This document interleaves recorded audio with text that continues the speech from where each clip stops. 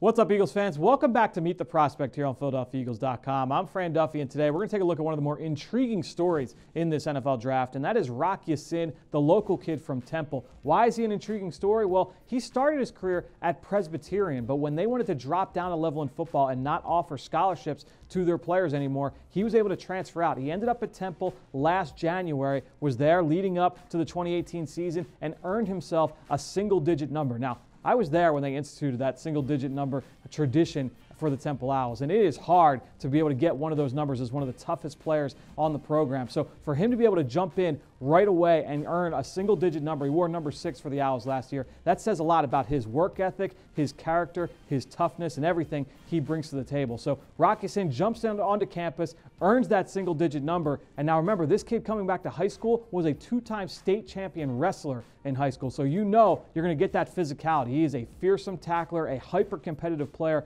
on the perimeter. So you like a lot of what this kid brings to the table. Over six foot, and he's got great ball skills as well. And you're going to see that here against Buffalo. This is Rock Ya-Sin at the left side as the left corner, and you're going to watch him play here against the Bulls on this vertical route down the field. And he does a great job of finding the football. He's going to stay on top of his man, get his eyes back to the quarterback, and with one hand climbs the ladder and comes away with the interception at the pylon. Just an outstanding play by Rock Ya-Sin there. So again, you're going to start to check off a lot of boxes for this corner from Temple. He's got size, he's got ball skills, toughness, competitiveness. He had a great week of practice down in Mobile at the Senior Bowl. The question with him will be his speed. He only ran 4.52 at the combine and his overall athletic profile, but ultimately, when you look at Rock Ya-Sin, again, you're checking a lot of boxes. So you may not hit a home run, but this guy is going to be one of the safer selections in this NFL draft and a guy that's ga- gaining a lot of buzz late in the process. So keep an eye out for Rock Ya-Sin and for more on players just like him. Stay tuned for more right here on Meet the Prospect on PhiladelphiaEagles.com.